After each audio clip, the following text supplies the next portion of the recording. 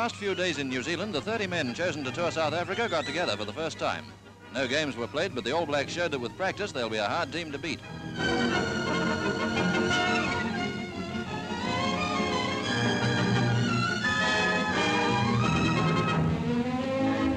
Some of the men found time to visit Karori School to pass on their knowledge.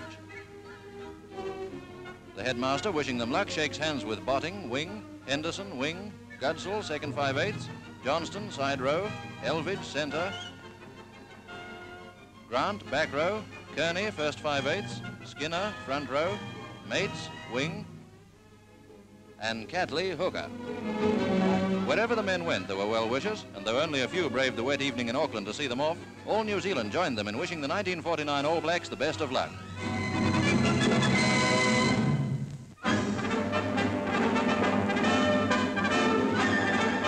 Their first triangular tournament was held by North Island training colleges when Wellington, Auckland and Ardmore battled through four days of sporting events. Wearing tam shanters, Wellington girls urged on their men in caps against Auckland.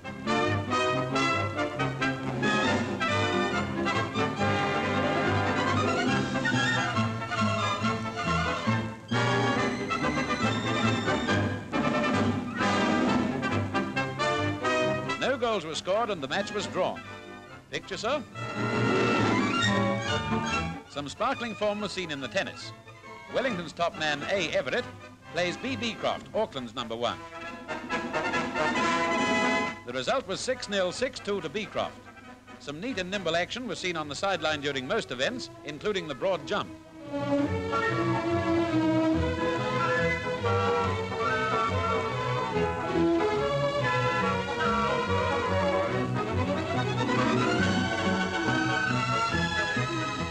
James of Auckland covered 20 feet 3 inches to win the men's jump.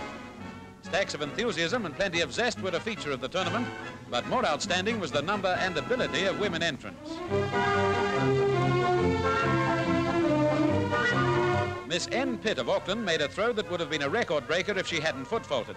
The winning distance of 28 feet 7 and a half inches coincided with the result of the men's throw. Ardmore girls in dark jerseys prepare to bat in a softball innings against Auckland. The result of the tournament was that Auckland defeated Wellington by 27 points to 19. At a tournament like this, teachers with long years of hard work ahead take a practical lesson in organization and mixing with their fellows. Later on, the whole show wound up with a dance. But when the Auckland catcher missed out, these girls had one on the spot.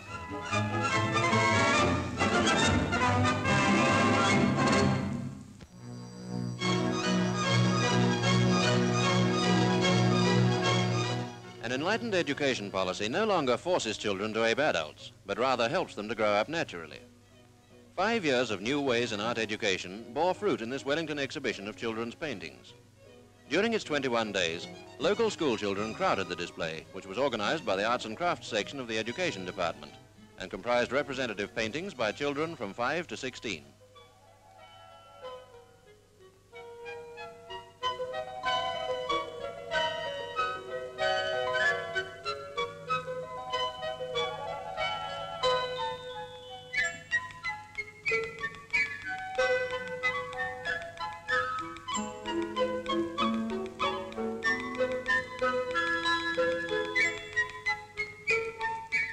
The story of a child's development is akin to the story of mankind.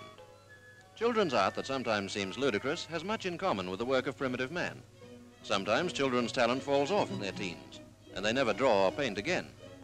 This is only a passing phase, but perhaps because of this, most adults no longer express themselves in a way as natural as song.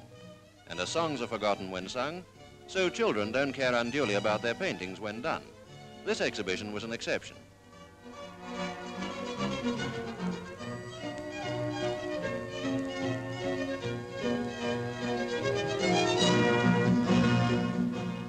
These are scribble designs.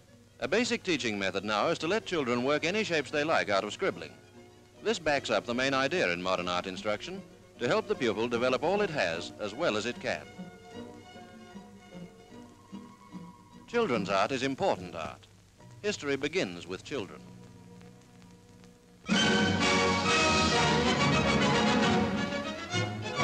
Cruising in coastal waters between Cook Strait and Banks Peninsula, units of the Royal New Zealand Navy carried out 14 days surface, underwater and air exercises.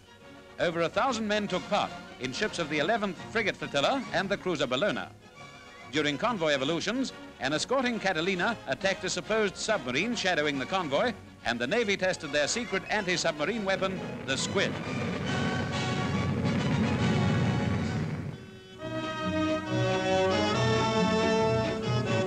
Radar detected hostile aircraft approaching the convoy long before they came in sight, and a smoke screen was laid before the attackers arrived overhead.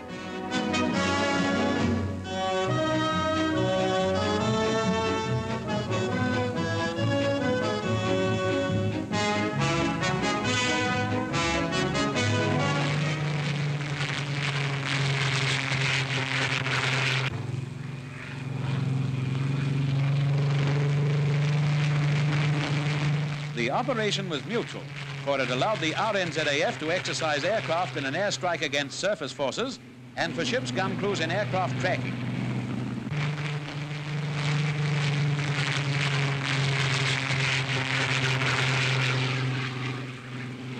Close-range gunners practiced their skills.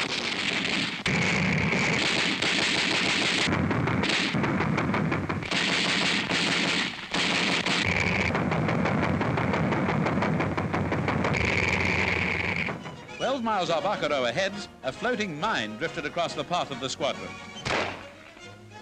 It was sunk by small arms fire from aboard Bellona by anyone who liked to have a go.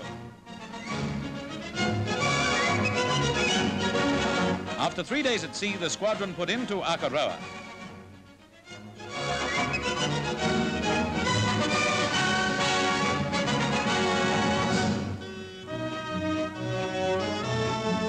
This safe anchorage, ships were able to rest their personnel who enjoyed the lighter side of the maneuvers, a traditional naval regatta with intership sports. This was the first regatta held since 1939. A meet like this gives a squadron a chance to see old shipmates. The New Zealand station is wide and scattered, and it's always a while before ships are together again.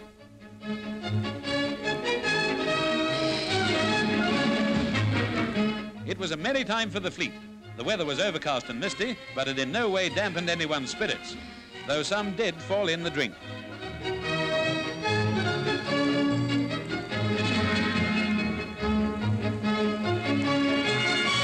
Proceeding from Akaroa to Wellington, the squadron refueled and put to sea again for the sinking by gunfire of the Hulk Occident.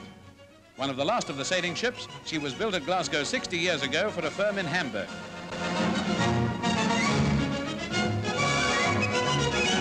Under salvos from Bellona's 5.24-inch guns and single shots from the frigates, the Occident met her end.